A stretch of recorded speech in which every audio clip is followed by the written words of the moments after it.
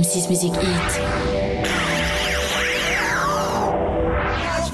M6 Music Hit présente le Festival du Château à Soliespont du 15 au 18 juillet. Dans un cadre exceptionnel, à mi-chemin entre hier et Toulon, retrouvez pour trois concerts uniques en plein air Diams le 15 juillet.